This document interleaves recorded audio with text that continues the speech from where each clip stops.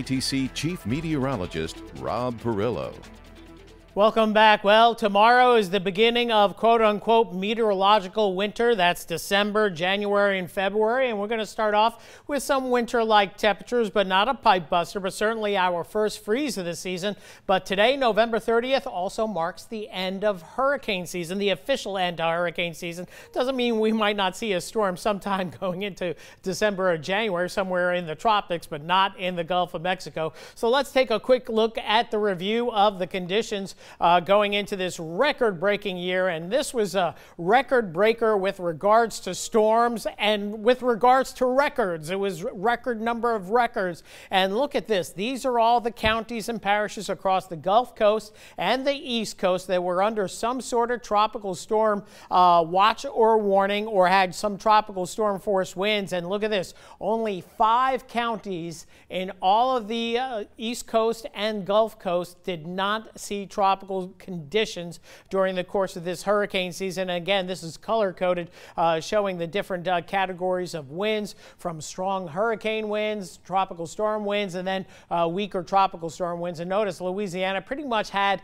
either strong tropical storm or hurricane conditions at some point. And again, the big storms in Louisiana, the biggest storm was Laura, followed by Delta and Zeta. And we had a couple of tropical storms in between as well. And along the East Coast, it was crazy as well well with lots of tropical watches and warnings there. In fact, uh, if you took all the Atlantic U.S. coastal areas, there were hurricane warnings in effect for 378 hours, almost 16 days. In Louisiana, there were coastal watches or warnings in effect for 474 hours or roughly 19.75 days in Louisiana. We were in the cone somewhere in southern Louisiana for the better part of a month. An incredible 14 systems required issuances of tropical storm watches or warnings with the first advisory on the system. And again, we had 10 systems that went through 10 intensification cycles, these rapid intensification cycles. So an unbelievable year. It was a year that we were expecting a very busy year. And then you add climate on top of that. And hopefully we won't see another year quite like this. And hopefully in Louisiana, we'll never see five storms, three of them hurricanes and two of them uh, major storms in our lifetime, but it was certainly is a possibility down the road. Now, right now, it is relatively quiet across uh, much of the lower 48 west of the Mississippi River, east of the river. That wet weather system that delivered three to five inches of rain across Acadiana now impacting the northeast, even the threat of a few severe storms, tornado watch there, and on the backside of the system, pretty healthy snows from Michigan on down through the Tennessee River Valley, even some snows as far south as the Birmingham area, at least snowflakes in the skies. For Acadiana, clear skies and those breezy northwest winds, they've been gusting 25 to 30.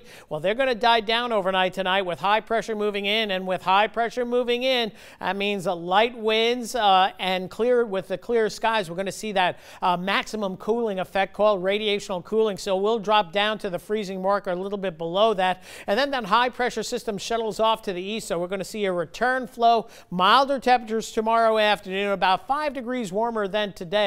And with lighter winds, it's going to feel a lot milder. And then tomorrow will stay above the freezing mark thanks to breezy southerly winds kicking in through Wednesday morning. And then a disturbance coming in is going to create rain developing Wednesday afternoon into Wednesday night. Uh, some showers, maybe embedded thunder, but mostly uh, thunderstorm activity offshore. And this rain won't clear the area until Thursday. And then we're going to have a little bit of an overrunning pattern, typical winter pattern where we see persistent clouds and maybe some patchy showers Thursday into Friday, maybe Friday as well, early Friday at that. Now, freeze warnings tomorrow morning. Look at this from uh, southeast Texas all the way to the Florida panhandle. This is for the first freeze of the growing season, so that's why the warnings are issued. It's not going to be a super cold night, so not expected to be a pipe buster, but certainly protect the plants and pets. About two to five hours at or below freezing.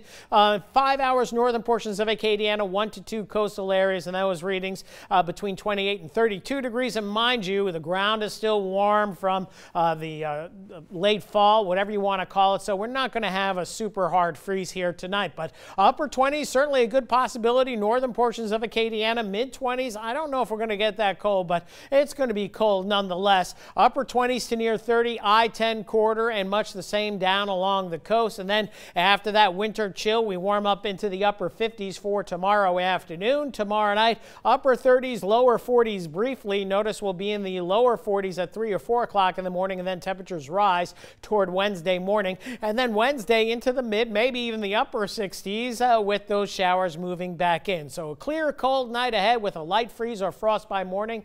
Plants and pets need the attention. We'll go 30 the low in Lafayette, 58 the high for our uh, Tuesday, rather. And then as we move down the road into Wednesday, those clouds increasing. Rains coming in by late in the day. Good chance of rain overnight uh, Wednesday night into Thursday. Friday, still lingering clouds. Thursday, Friday, and then the weekend. Fair to partly cloudy. Lots of high clouds, cool temperatures, and then maybe a little bit of a warm up toward the end of next week. But overall, Marcel, the winter chill is here. It is gumbo season 100% right now, at least over the next couple of weeks in my part of the world, no matter what the temperature is going to be. I agree with you there, Rob. Alrighty, thanks.